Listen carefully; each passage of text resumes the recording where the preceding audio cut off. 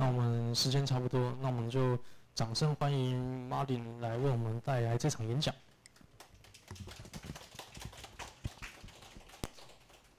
OK，Hello，大家好。呃，那这场演讲就是讲 Arch Linux 要怎么移植到 ARM 上面去。然后开始前先提醒一下，就是在大会上应该有公布说这场演讲会是英文演讲，所以接下来呃过了开头之后我就开始全部用英文。Uh, again, uh, if anyone saw the uh, agenda on the, on COSCUP's website, this presentation will be entirely English, and uh, English. I will start speaking English uh, from basically now.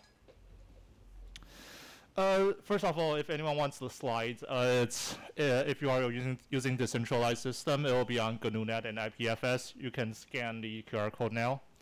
I can wait for you to scan the QR code. select one. both are the same thing.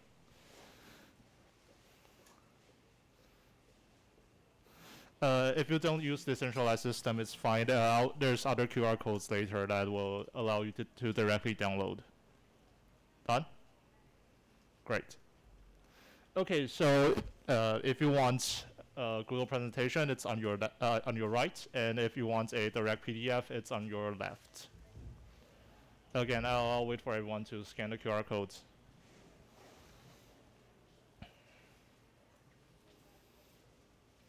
Do do do do do.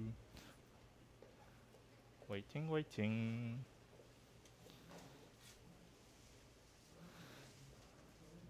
Hey, if anyone needs more time, uh, just raise your hands. I will be waiting.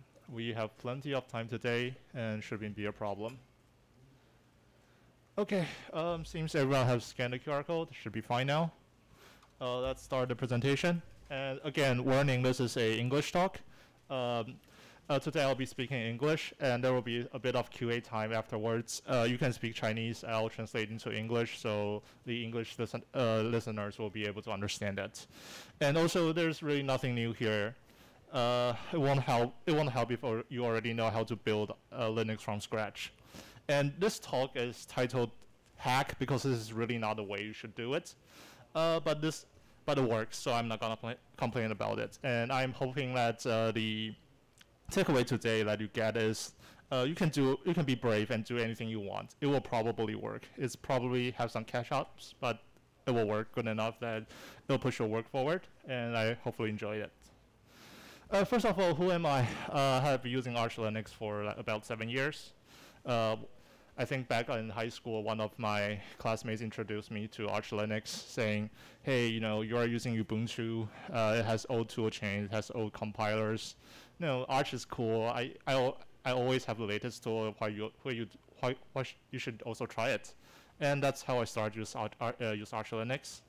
Uh, now I work in basically HPC and AI stuff. So I write uh, high performance code. I do image processing and a bit of AI inference coding and mostly systems programming. And open source wise, I'm a maintainer of Drogon, uh, which is a very fast C++ web, uh, web application framework. And uh, on the bottom, there's my blog that you can look at. Uh, it's mostly HPC systems and some obscure protocol stuff. Uh, you can you can go through it later on. Okay, agenda. Um, so today, um, like I said, we'll be introducing how to get Arch Linux onto ARM. But first, we'll be talking about why exactly are we trying to do that. And second, uh, what's Arch Linux ARM? Uh, how to, there are pre-built packages for this one, so in case you are able to use it, use it. Uh, if you aren't, I'll show, show you two examples on how we use it. Ooh. Yeah, we'll be uh, we'll be showing you how to use it, and some po post install script uh, post install instructions tell you uh, what's up, what's available, what's not available, uh, what's are what are the steps that you need to do to fix a bit of security issues like default passwords, and finally some time for QA.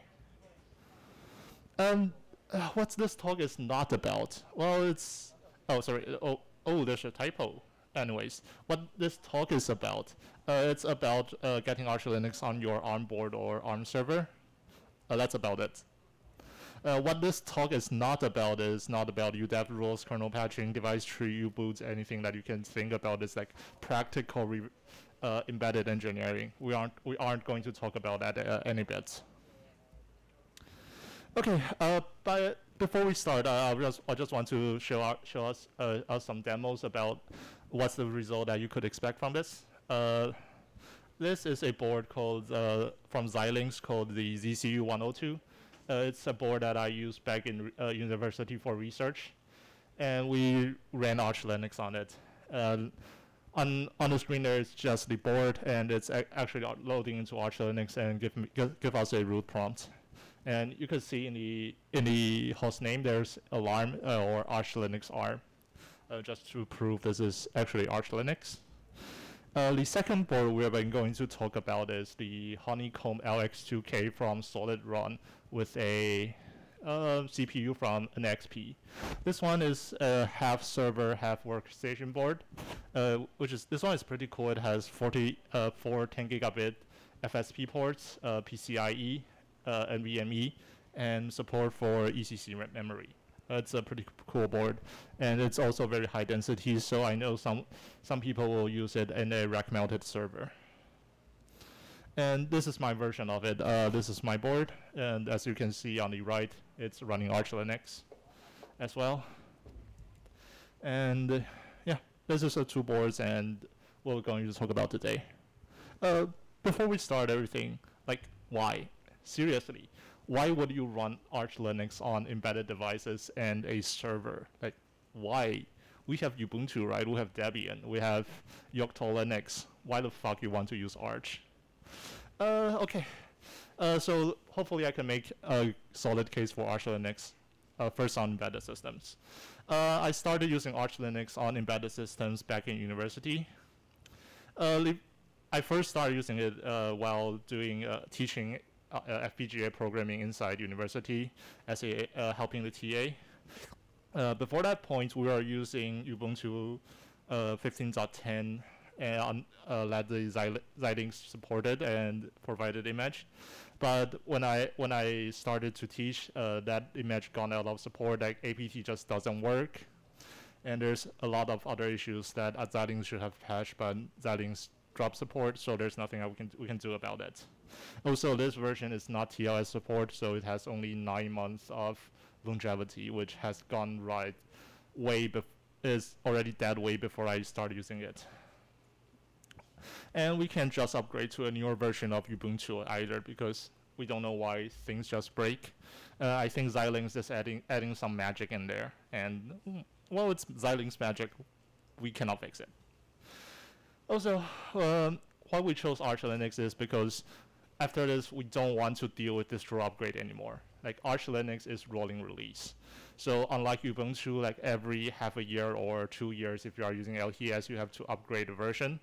Uh, with Arch Linux, we are always upgrading. And therefore, we don't have to upgrade the 50 boards for our students to be able to use the latest tool chain. We just have to ask, uh, distribute the boards to, to our students and ask them to run Pacman, reboot, and they got the state-of-the-art system. Uh, finally, because students co uh, constantly mess things up, and we all know how DPKG is horrible at dealing with dependencies. Uh, once a student, I don't know what the student does, but then when DP DPKG tries to repair the dependency chain, uh, DPKG tries to remove glibc and the kernel, which is not fun. And we just ask the student, please just you know, here's the image, uh, flush, uh, burn it. Uh, this is beyond savable. And after that, uh, we used Arch Linux. Uh, everything just got solved, and uh, we started using it in actual research. And this at that point, I'm still using FPGA for devel developing FPGA. And at, for research, Arch Linux provides us a the latest toolchains, compilers, and sanitizers, so we are able to uh, debug a, a, lot more efficiently and be able to use new C++, C++ language features. And second of all, I can upgrade stuff. Like, well, um, sorry, G, uh, there's a older glibc doesn't support a better random function that we need for our embedded system. Oh well, I just upgrade glibc, right? I don't have to wait and do a distro upgrade. Uh, finally, uh, if you have ever done uh, deal with anything for embedded system, you know that you basically have to compile everything from scratch, which is not the case on Arch.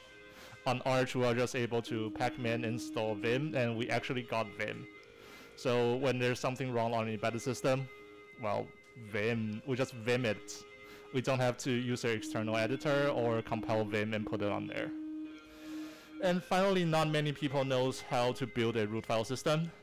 And so the Arch rolling model allows us to build once, and uh, people who uh, will take on our research won't have to rebuild the entire image again. And okay, next, why Arch on ARM servers? Uh, this is my personal server, and so the first reason is why not? I use Arch, I love Arch, so Arch it is. Uh, but it also provides a latest li library for uh, experimentation. Uh, also, uh, if you have ever tried it using any ARM server-based distros, you will find that some dependency are missing from the system package. Uh, for example, some uh, NumPy sometimes acts weird because the Intel MKL library is unavailable, and therefore it do something weird. But with Arch, we are just able to compile everything from AUR, and because we are compiling from source, we have uh, full control over what it's doing. AUR will, will complain about like this is on ARM, this doesn't look right, but trust me, 99% of the package will compile and will work normally. Uh, but one thing to be aware of if you are on uh, trying to do this on a server is uh, the vendor kernel preset can be a trap. Uh, what I've found is uh, sometimes ZFS is disabled, namespace is disabled, so you, you cannot use Docker for some reason. Uh, the default locks the CPU onto 100% speed, which uses more power. And sometimes the Arch Linux and your vendor kernel would uh, basically collide, and they put the same kernel file in the same place. And when you upgrade the Arch Linux kernel, and then your vendor kernel gets replaced, there's things you have to take care of. But uh, we'll talk about that later. Okay, uh, first of all, how do you build your Arch Linux image? Uh, ho hopefully I have uh, convinced you that on embedded system and on ARM servers, it's a good idea to use Arch Linux. But how do you bu build your own Arch image? Oh, well, uh, first of all, uh, I think everyone knows that Arch Linux officially only supports x64, uh, x64 architectures, uh, like your, your laptop or your Windows laptop or your desktop is most likely x64. And th this is where the Arch Linux ARM project gets involved. Uh, it's called Arch Linux ARM, A-L-A-R-M. Uh, don't, don't get it confused with the alarm clock alarm. Uh, the alarm here is a acronym. Uh, it has a lot of pre-builds for uh, specific boards that they have they can officially support, which is most likely cheap boards or vendor boards that they send to Arch Linux ARM, or they provide a generic base system that will help uh, that you can build up on, which is what we will be using today. And also, finally, don't don't be confused with the official Arch Linux projects. This is two uh, two totally completely different projects maintained by different people. The only thing in common is the source codes. Uh, what Ar Arch Linux ARM does is basically they grab Arch Linux source code, run a ARM compiler, and get something out, uh, get a bootable ARM system out. And so Linux ARM, uh, if you are lucky that you, you can use a preview image, there's a tab on their website called platforms, and you can go down say a 132-bit or 64-bit ARM. And if you go through there, you can find your board. Nice. Please use that. That, that is the easy way out. That's like basically using standard Ubuntu or standard Debian for your board. Just burn that it onto your SD card, boot, it will work. Uh, if you're that that lucky, good luck. I love it. But if you are not you, but if if you cannot use that, uh, you need like you need a custom kernel or you have bootloader limitations, or uh, anyways. But in that case, you have to boot, uh, build your own root file system. And this is where I'll show you how I did it for the two boards. Uh, before that, what is Linux? Uh, sorry, but I have to paraphrase RMS here. I'd like to interject for a moment. What are, what are you referring to as a Linux is in fact GNU slash Linux, or I have recently taken to call, calling it GNU plus Linux. What does wait? What does RMS trying to talk here?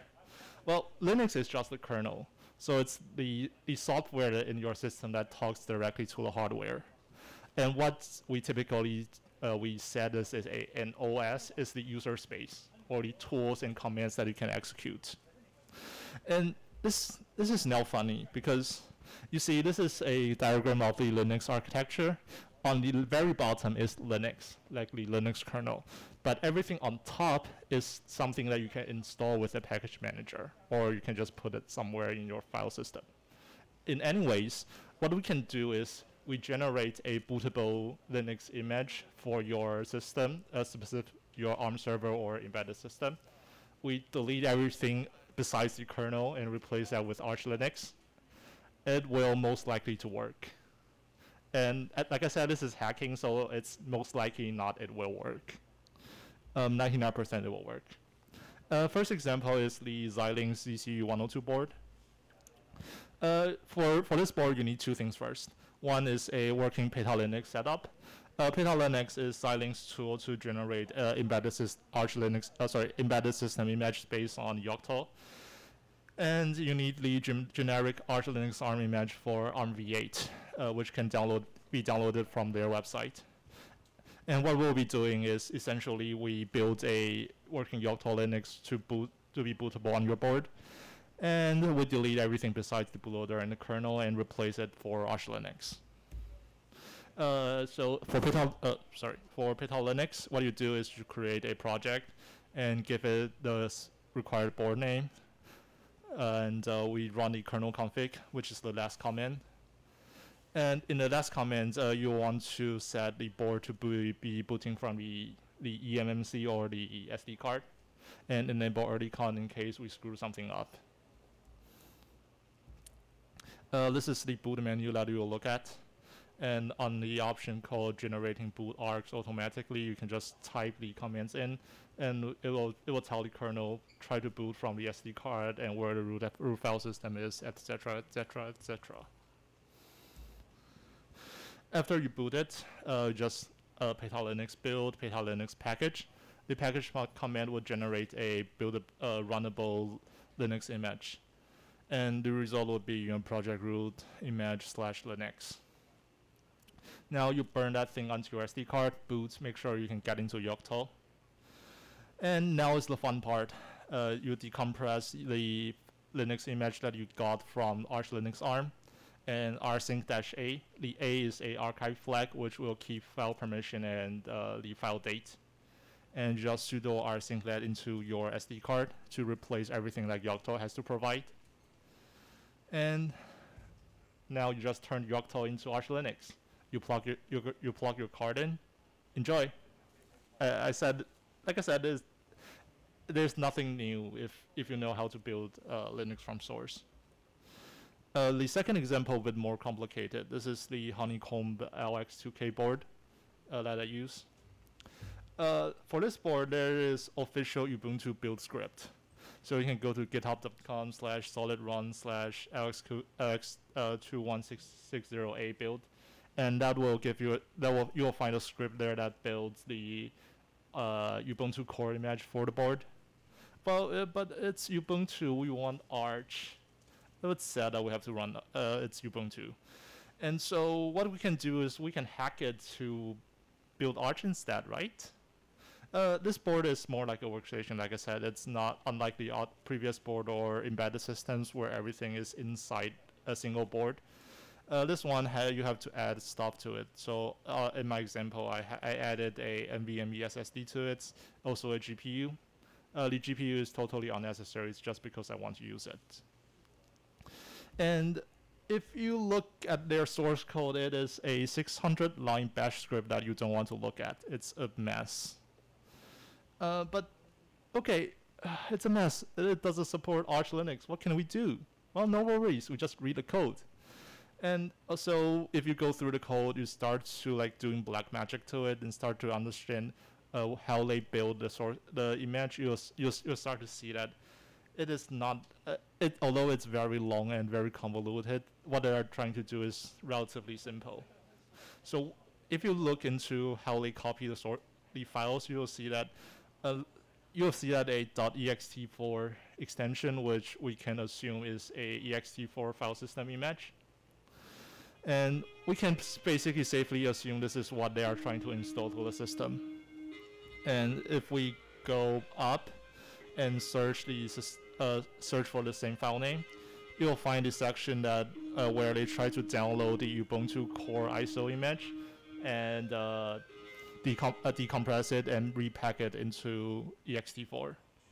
So uh, in this example, uh, the, the, shell script basically says if Ubuntu uh, Ubuntu's ext4 doesn't exist, we create a directory and git clone some stuff and download download Ubuntu, decompress, recompress, uh, de uh, unpack and repack it into ext4. And so at this point, uh, we I think we have two options. The first the first thing we can do is we make the script instead of downloading Ubuntu core, we make it down to Arch Linux ARMS ISO and that is repack for us. Or the second way is well, we just drop the entire uh, conversion step. Like we don't ask it to decompress, uh, de depack and pack for us. We just place the entire root file system inside the directory where they originally packs, uh, pack the script, uh, pack the file system, and let them ignore all the checks and it, it will pick it should pick up our file system and pack it right. And therefore, we just comment out the entire section here and put uh, the decompressed uh, Arch Linux image inside the directory. So, sorry here. So we just bsdtar the download image that you can download from their website, and into their build the folder called slash images slash temp. Uh, this this is where they put the expect the root file system to be. So we just put it there, and we run the script. Well, it it runs, it runs, it runs, and then boom, uh, e2cp error. There's no more space on left on disk. Oh well, what what happens? And this this took me uh, about two hours to debug, uh, but eventually I found that well, Arch Linux ARMS ISO image is actually a lot larger than the Ubuntu Core's image. Ubuntu Core is like 350 megabytes, but Arch Linux ARM is 500 megabytes. It's surprising. It's actually very surprising. Arch Linux is more is larger than Ubuntu. Wow. Uh, anyways, well, this well since we're just running out of out of space, we could just you know in, increase the space, right?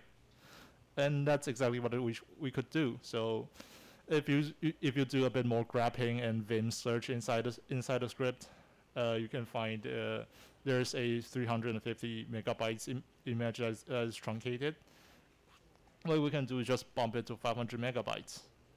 And now it works. Uh, after replacing every instance of 350 with 500 megabytes, uh, it works, it builds, it generates the image.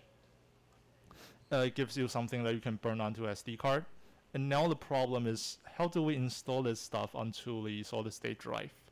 Uh, if you go through their documents, it will give you the three comments down there. It says oh well load stuff from eMMC and write it to the the NVMe drive. Now the problem becomes uh, there's magic numbers. What are the magic numbers doing there? Like what is that zero x A4 a bunch of zeros and what is uh, the number that's the 0xD2 blah blah blah blah blah. They, they didn't document anything. And the worst part is, well, it drops you into U-boot shell which is like not even bash. This is Linux isn't even running here. Well, uh, so after some like googling around and goofing around, apparently uh, it's very difficult to run a R in actual installer on ARM. So what they are trying to do is remember they generated a ext4 packet, ex uh, sorry ext4 image. Uh, what they did is basically saying, hey, this is the ext4 image. Ask U-boot to directly write it into your SSD and after after writing into it, uh, you have ext4. You can boot from it. Uh, you can then modify the system to suit your needs. And okay, great. But what is the first number? Well, that looks like an address, right? if you are familiar with C programming, that looks like an address. And the 0xD2 uh, 000, it looks like, somehow looks like uh, possibly the sectors, uh, how many sectors are we writing into the SSD? And since SSD normally have 4K sectors, we can multiply by 4,000 and we get 350 mega, uh, megabytes. So well, we can safely assume that's the sector size, uh, how many sectors we write. And so what we do is we replace that with uh, 0x6E000, which is about 500 megabytes. And after writing that, that works. Apparently that works. We just reboot the machine, and we are actually dropped into Arch Linux ARM shell. Yay, hooray. Like I said, this is uh, break stuff. You don't, you don't have to do things conventionally. Uh, you do stuff that seems to work, and it will eventually work. Uh, it works. We are into, ARM shell, and at this point, we just have to fdisk uh, the root partition to make it larger, add a swap, uh, added fstab, and uh, you know the standard Arch Linux install stuff you have if you have go gone through Arch Linux. And now we're we are into Arch Linux ARM. So what should we do after booting into it?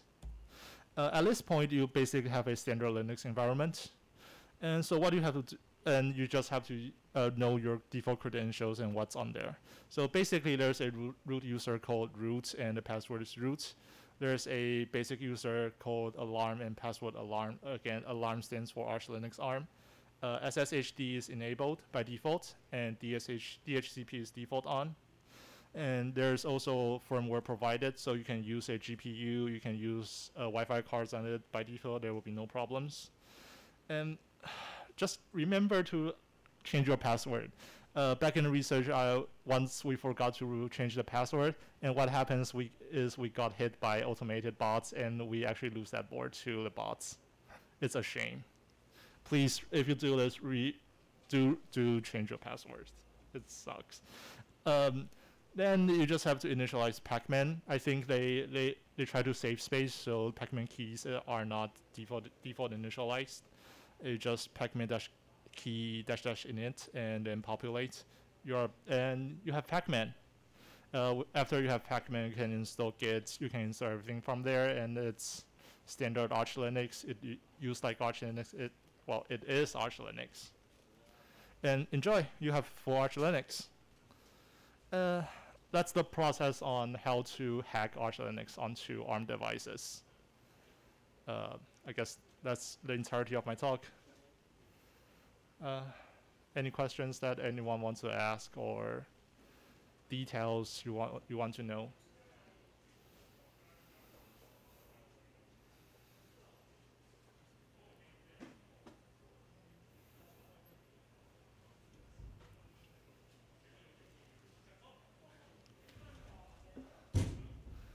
Okay. If not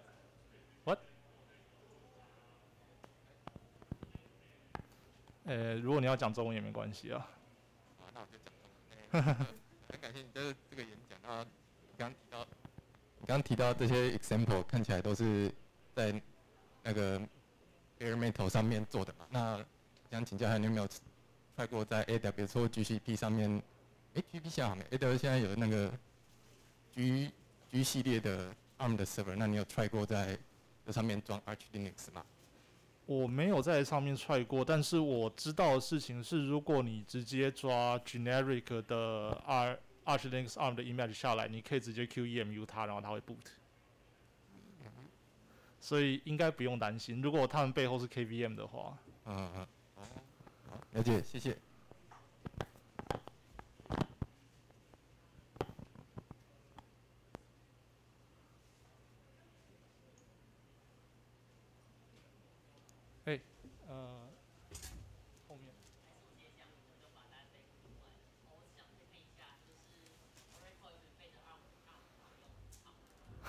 OK，对我知道那个 Oracle 有给一个好像二十四核心的 ARM 是不是？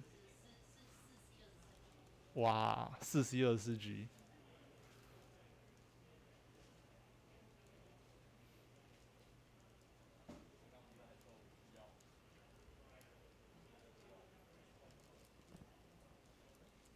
还有要提问吗？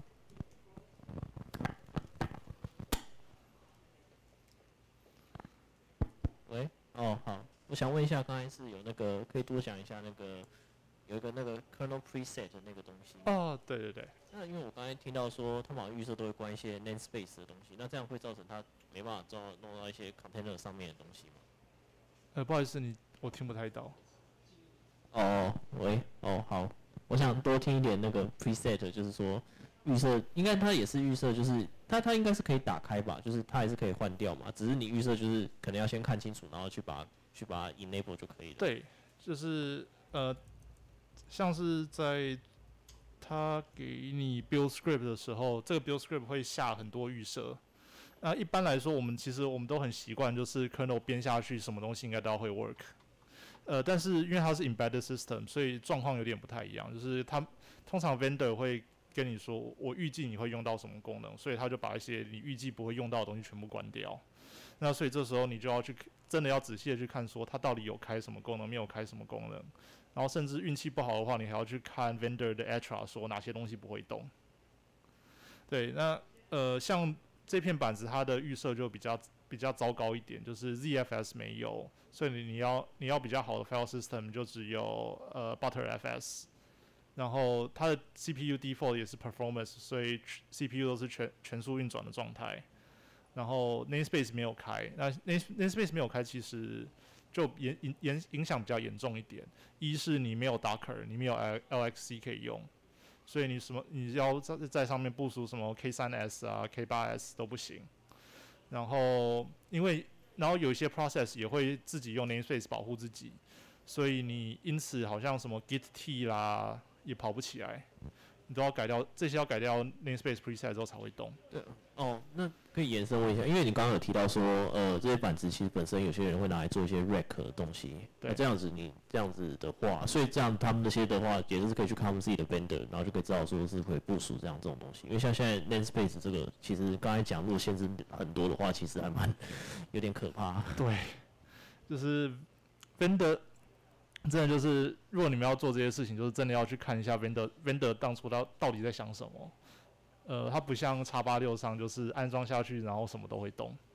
你有很高的机会安装下去，然后突然发现缺真的缺功能，然后你就只好整个 kernel 重新 compile 一遍。好，谢谢。好，谢谢。那我们时间差不多，如果你还有问题的话，可以来前面询问这样子。那我们就掌声谢谢马里。